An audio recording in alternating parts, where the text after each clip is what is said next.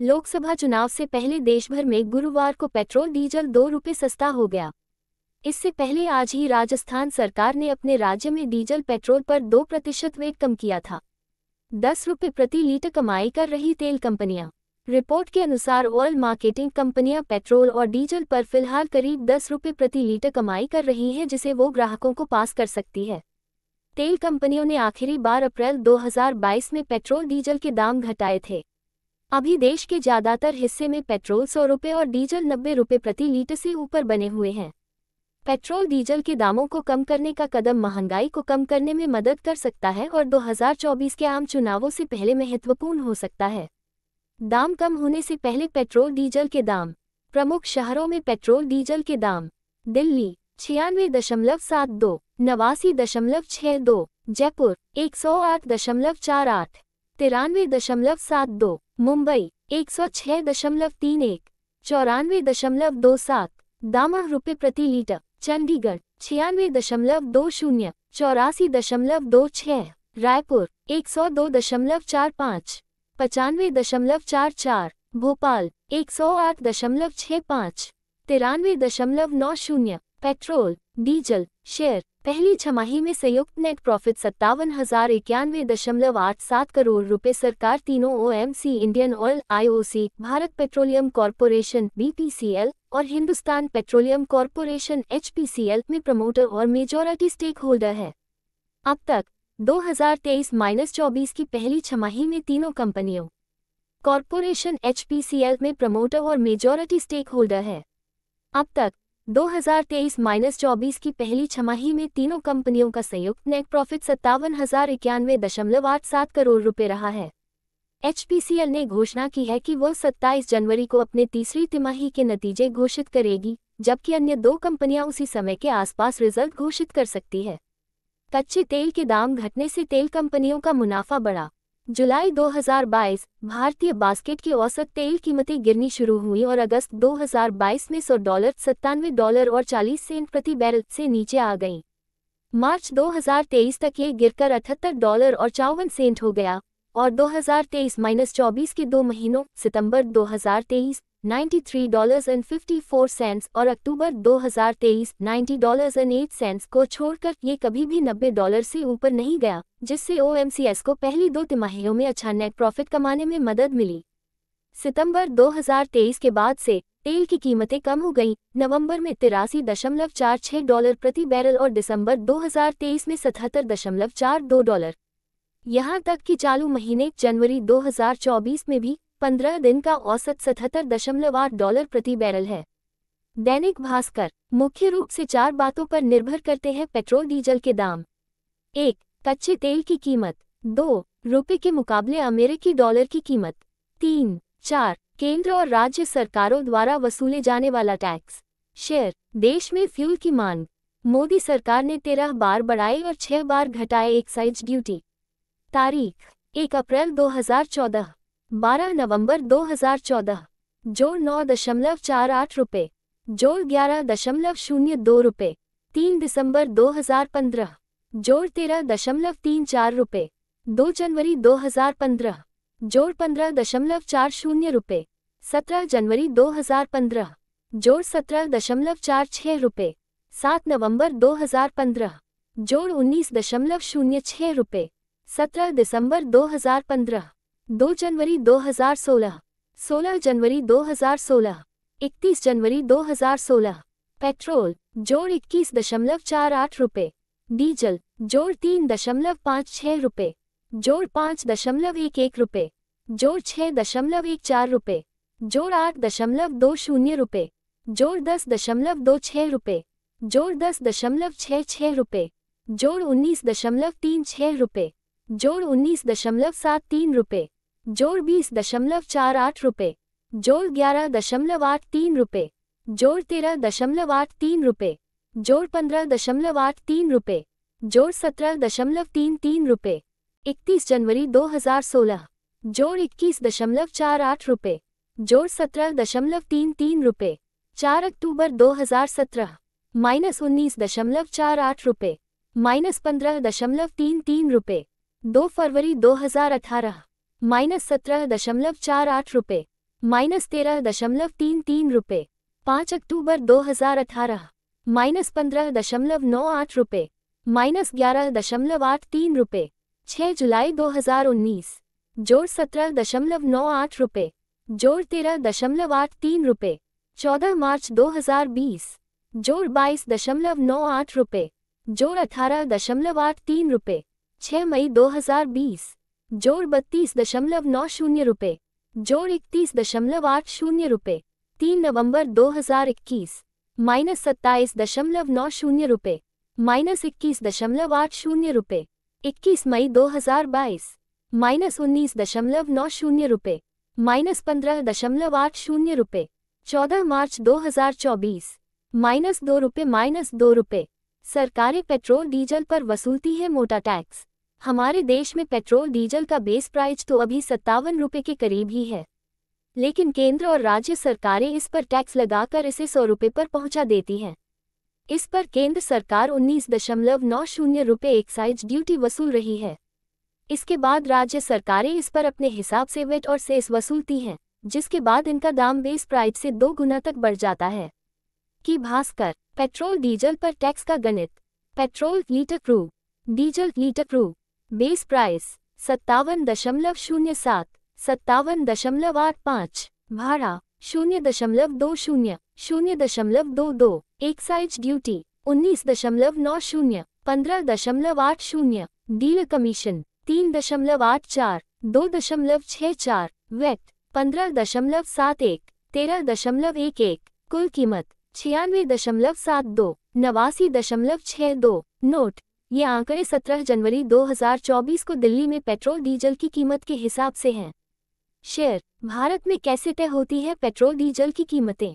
जून 2010 तक सरकार पेट्रोल की कीमत निर्धारित करती थी और हर 15 दिन में इसे बदला जाता था।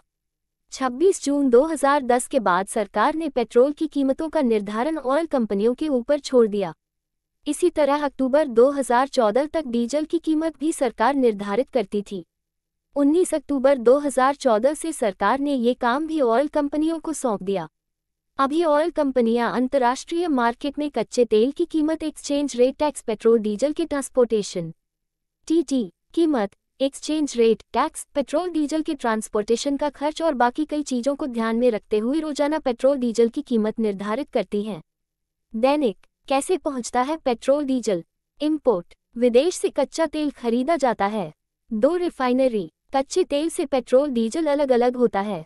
शून्य, कंपनियाँ, ये अपना प्रॉफिट बनाती है और पेट्रोल पहुंचाती है। खरीदार, केंद्र और राज्य सरकार का टैक्स मिलाकर खरीदता है। मौसम विभाग ने जारी किया येलो अलर्ट, बारिश के साथ वज्रपात और तेज हवाओं की चेतावनी। रांची, बढ़ती गर्मी के बीच मौसम विज्ञान केंद्र ने आने वाले दिनों में बारिश की जानकारी दी है। केंद्र ने 16 से 18 मार्च के लिए येलो अलर्ट जारी किया है। इस दौरान राज्य के दक्षिणी और मध्य हिस्से में बारिश की जानकारी दी है। केंद्र की माने तो इस दौरान राज्य के इन हिस्सों में मध्यम दर्जे की बारिश के साथ वज्रपात और तेज हवाएँ चलेंगी। ऐसे में लोगों को सतर्क रहने की ज़रूरत है।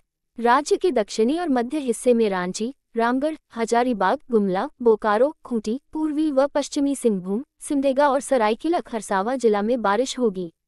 केंद्र की माने तो आने वाले दो दिनों तक अधिकतम तापमान में कोई बड़े बदलाव की संभावना नहीं है। इसके बाद तापमान में पाँच डिग्री तक की गिरावट हो सकती है। केंद्र के अनुसार राज्य में 20 मार्च तक बारिश होगी, जिसका छिटपुट असर राज्य भर में देखी जाएगी। हालाँकि 15 मार्च को आसमान साफ़ रहेगा, दक्षिणी हिस्से में आंशिक बादल का असर देखा जाएगा। इस दौरान राज्य का औसतन अधिकतम तापमान 30 डिग्री तक और औसतन न्यूनतम तापमान 18 डिग्री तक रहने की जानकारी दी गई है। इसे भी पड़े तेज़ी से बढ़ रहा तापमान, गर्मी के साथ ही 16 से बारिश के आसार, लोगों को मिलेगी राहत। जानकारी हो कि पिछले दो दिनों के दौरान राज्य के तापमान में वृद्धि दर्ज की गई है, जो तीन डिग्री तक की रही। ऐसे में लोगों को गर्मी का एहसास हो रहा है। आने वाले दिनों में होने वाली बारिश से लोगों को राहत मिलेगी। एक बार फिर झारखंड में बदला मौसम का मिजाज शुरू हुई। रह रहकर झारखंड के मूड में लगातार बदलाव देखने को मिल रहा है। पिछले कुछ दिनों से गर्मी का एहसास हो रहा था, मगर तेरह तारीख को फिर मौसम ने मूड बदलने का संकेत दिया। वेदर अपडेट, रह रहकर झारखंड के मूड में लगातार बदलाव देखने को मिल रहा है। पिछले कुछ दिनों से गर्मी का एहसास हो रहा था, मगर तेरह तारीख को फिर मौसम ने मूड बदलने का संकेत दिया। राजधानी रांची समेत अन्य जगहों पर आज बादल छाए हुए हैं। कई जगह छिटपुट बारिश स्परारिक रेन भी हुई है। 16 से 18 मार्च तक ये सिलसिला जारी रहेगा। मौसम विभाग वेदर डिपार्टमेंट की माने तो मौसम में बदलाव के बाद अधिकतम तापमान में 4 से 5 डिग्री तक की गिरावट दर्ज हो सकती है। दिन में दोपहर के दौरान बढ़ रही गर्मी से राहत मिलेगी। मौसम वैज्ञानिक अभिषेक आनंद के अनुसार, राज्य में यह मौसम बदलाव एक नए पश्चिमी विक्षोभ के कारण हो रहा है। यह विक्षोभ 12 मार्च को देश के उत्तर पश्चिमी भाग में दस्तक दे चुका है। रांची पुलिस ने ऐड अफसरों को भेजा समन 21 मार्च को थाने में पेश होने के लिए कहा, अपर और सहायक निदेशक हैं आरोपी। झारखंड हाईकोर्ट की रोक के बावजूद रांची पुलिस ने प्रवर्तन निदेशालय एक्ट के अफसरों को समन भेजा है। समन में एक्ट के अपर निदेशक और सहायक निदेशक सहित अन्य अज्ञात लोगों पर आरोप लगाए हैं। सभी को 21 मार्च को सुबह 11 बजे हाजिर होने को कहा है। इसके पहले पश्चिम बंगाल में एड अफसरों पर फ हुई थी। उन्हें थाने बुलाया गया था। अब बुज़ुर्गों को भी मिलेगी पाँच हज़ार रुपये की पेंशन। इस तरीके से करना होगा उनका आवेदन। जैसा कि हम सब लोग जानते हैं कि इंसान का सबसे अहम समय होता है उसका रिक्वायरमेंट क्योंकि ऐसे में लोगों का इनकम सोर्स भी नहीं होता है तो ऐसे में यदि आपके पास कोई पेंशन स्कीम है और उसका नाम ले रहे हैं तो आपको बुढ़ापे तक किसी भी तरह की समस्या नहीं आती है। ऐसे में इस तरह से बुज़ुर्गों के लिए सरकार के द्वारा एक स्कीम चलाई जा रही है। इसका नाम है अटल पेंशन योजना। दरअसल इस तरह की स्कीम में किसी भी इंसान यदि छोटा भी कंट्रीब्यूशन करता है तो वह सबसे लंबे समय तक एक अच्छे अमाउंट में इनकम प्राप्त कर सकता है। यदि कोई भी शख्स इसमें इन्वेस्ट करता है तो उसे पाँच हज़ार रुपये तक की पेंशन मिलती है। कौन उठा सकता है अटल पेंशन योजना का लाभ? बताना चाहूँगा कि यदि जिसकी उम्र 18 से 40 साल के बीच है तो वह इस अटल पेंशन योजना का लाभ उठा सकते हैं। बस उसे शख्स को अटल पेंशन योजना का लाभ लेने के लिए केवाईसी के अनुरूप सेविंग या पोस्ट ऑफ़िस में खाता खुलवाना पड़ेगा।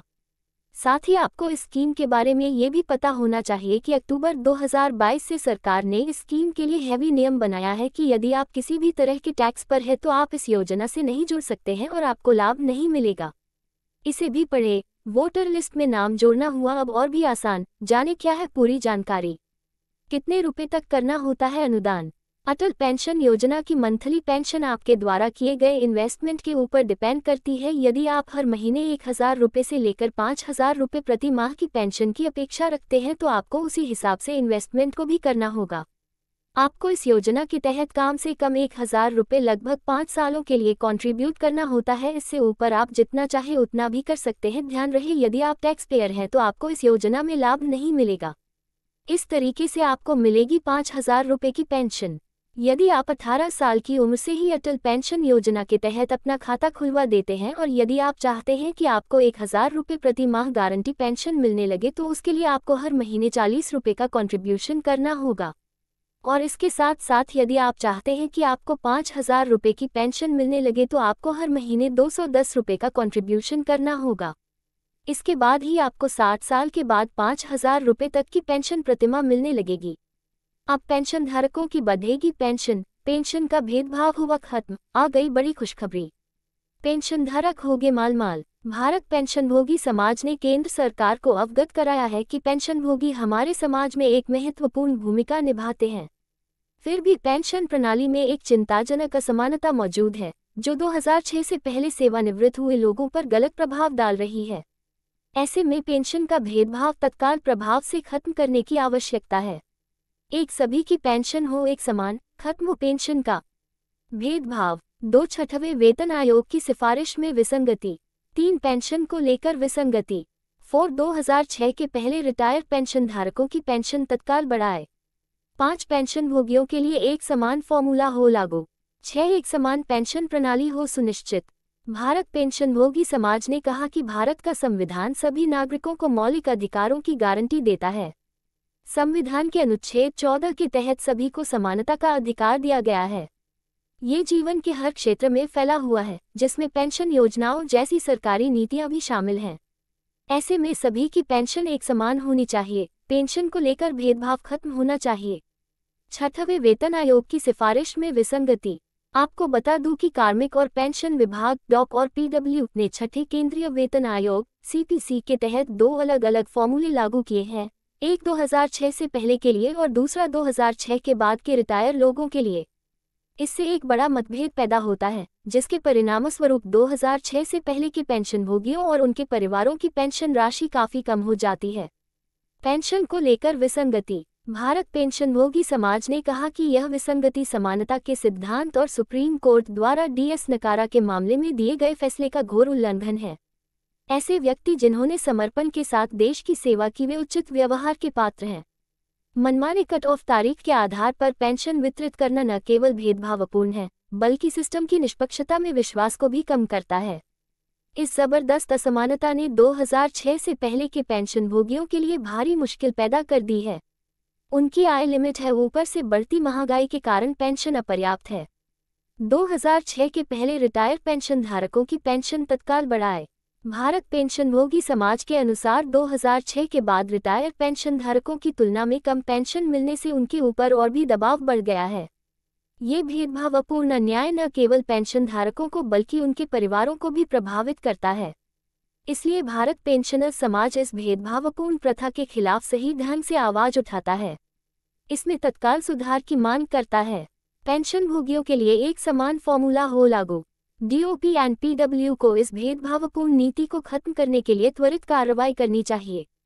छठी सीपीसी की सिफारिशों के आधार पर सभी पेंशन भोगियों के लिए एक समान फॉर्मूला लागू करना चाहिए, चाहे वे 2006 के बाद रिटायर हुए हो या 2006 के पहले, सभी की पेंशन समान होनी चाहिए। पेंशन के साथ भेदभाव नहीं होना चाहिए। ये भी पड़े 18 महीने का एरियर मिलेगा, आ गया आदेश। एक समान पेंशन प्रणाली हो सुनिश्चित। 2006 से पहले रिटायर लोगों के खिलाफ चल रहे भेदभाव को अब और बर्दाश्त नहीं किया जाएगा। हम सरकार से इस अन्याय को स्वीकार करने और सभी के लिए एक समान पेंशन प्रणाली सुनिश्चित करने की मांग करते हैं। भारत पेंशनभोगी समाज के मांग की प्रति डाउनलोड करें। 30 जून 31 दिसंबर को सेवानिवृत्त कर्मचारियों को मिलेगा वन नोशनल इंक्रीमेंट का लाभ। आ गया बड़ा फैसला। दिनांक एक जनवरी 2016 से लागू संशोधित वेतन संरचना के अनुसार पेंशन बेचने, कॉम्यूटेशन पर फिर से होगी 15 साल तक वसूली। थ्री थॉट्स ऑन अब पेंशन धारकों की बढ़ेगी पेंशन पेंशन का भेदभाव हुआ खत्म, आ गई बड़ी खुशखबरी. पेंशन धारक होगे माल माल बीएमसी कर्मचारियों को दिवाली बोनस का तोहफा. छियालीस प्रतिशत महँगाई भत्ता भी मिलेगा. चार महीनों का अर्य आएगा खाते में. केंद्र सरकार के पेंशन भोगियों, पारिवारिक पेंशन भोगियों को महँगाई राहत डॉक्टर की बड़ी दर से भुगतान करने को लेकर आदेश जारी. रिटायर्ड कर्मचारियों को सम्मानजनक जीवन जीने के लिए समय पर सेवानिवृत्ति लाभ रिटायरमेंट बेनिफिट मिलना ज़रूरी। महाराष्ट्र की शिंदे सरकार ने दिया शानदार तोहफा। पेंशन, महँगाई भत्ते पर किए पाँच बड़े ऐलान, कर्मचारी व पेंशनधारक मालामाल। दिनांक एक जनवरी 2016 से लागू संशोधित वेतन संरचना के अनुसार पेंशन बेचने कॉम्यूटेशन पर फिर से होगी 15 साल तक वसूली। अब पेंशनधारकों की बढ़ेगी पेंशन पेंशन का भेदभाव हुआ खत्म, आ गई बड़ी खुशखबरी। पेंशन धारक गए माल माल मेरे बेडरूम में घुसी ईडी की टीम। 14 मार्च 2024 अम्बईडी की छापेमारी के बाद अम्बा प्रसाद ने मीडियाकर्मियों से बात करते हुए कहा कि मेरे बेडरूम में ईडी की टीम घुस गई। मैं पूरी तरह सहज थी, इसके बाद भी घंटों बैठाया गया। मैं समझ ही नहीं पा रही थी कि मेरे साथ क्या हो रहा है। रांची ईडी की छापेमारी के बाद अम्बा प्रसाद ने मीडियाकर्मियों से बात करते हुए कहा कि मेरे बेडरूम में ईडी की टीम घुस गई। मैं पूरी तरह सहज थी, इसके बाद भी घंटों बैठाया गया। मैं समझ ही नहीं पा रही थी कि मेरे साथ क्या हो रहा है। मैं कोई माफिया या अपराधी नहीं हूँ, मैं एक जनप्रतिनिधि हूँ जो लगातार अपने क्षेत्र में काम करती है। ईडी की छापेमारी के दौरान लगातार मुझे टॉर्चर किया गया। ईडी अपने साथ मेरे सारे फ़ोन ले गई, इसके अलावा कुछ डॉक्यूमेंट भी अपने साथ ले गई है। मेरे माँ पापा के खिलाफ चल रहे केस से संबंधित फ़ाइल भी ईडी अपने साथ लेकर गई है। भाजपा की तरफ़ से लगातार मुझे हजारीबाग लोकसभा सीट से चुनाव लड़ने का ऑफ़र दिया जा रहा था, जिससे मैंने इनकार कर दिया। आरएसएस के लोग घंटों घर पर बैठे रहते थे। मुझे चतरा से भी बीजेपी से लड़ने का ऑफ़र दिया गया था।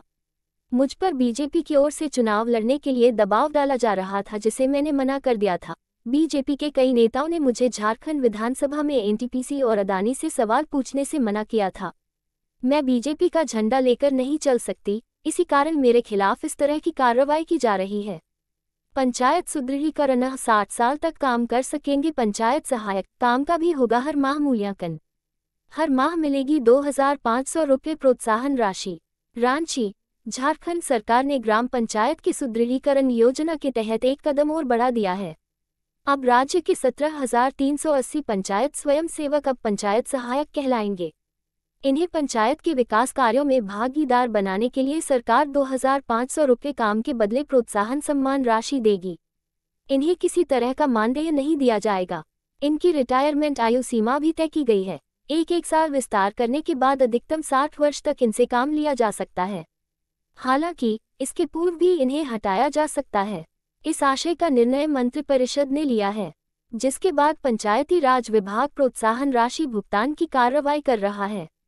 राज्य के 4,345 पंचायतों में कार्यरत 17,380 पंचायत सहायकों को 2,500 रुपये प्रोत्साहन राशि देने में मासिक व्यय चार चौंतीस पचास हज़ार रुपये व सालाना बावन दशमलव एक चार करोड़ रुपये खर्च आएगा। प्रोत्साहन राशि का भुगतान इसी वित्तीय वर्ष 2023-24 से होगा। इसके लिए सरकार ने आठ दशमलव छह नौ करोड़ का प्रावधान भी कर दिया है। बता दें कि पंचायत में पूर्व से कार्यरत पंचायत स्वयंसेवकों से प्रस्तावित हेल्प डेस्क में पंचायत सहायक, अधिकतम चार की संख्या में कार्य लिया जा रहा है। प्रारंभ में एक वर्ष की सेवा होगा मासिक कार्य का मूल्यांकन। ग्राम पंचायती ग्राम सभा का अनुमोदन लेने के बाद पंचायत स्वयं सेवकों से एक वर्ष के लिए पंचायत सहायक के रूप में कार्य ले सकेंगी। उनके वार्षिक कार्यों का मूल्यांकन प्रतिवेदन ग्राम सभा के समक्ष रखा जा सकेगा। ग्राम सभा की अनुशंसा के आलोक में मुखिया उन्हें पुनः एक वर्ष तक कार्य सौंप सकेंगे। पंचायत सहायक के कार्यों का मूल्यांकन मुखिया, पंचायत सचिव द्वारा संयुक्त रूप से किया जाएगा। काम असंतोषप्रद रहा तो अनुशंसा के आधार पर जिला पंचायती राज पदाधिकारी कार्य मुक्त करने में सक्षम होंगे। जिला पंचायती राज पदाधिकारी के आदेश के विरुद्ध निदेशक पंचायती राज यहाँ वे अपील एक माह के भीतर कर सकेंगे। ये होंगे पंचायत सहायक के मुख्य काम।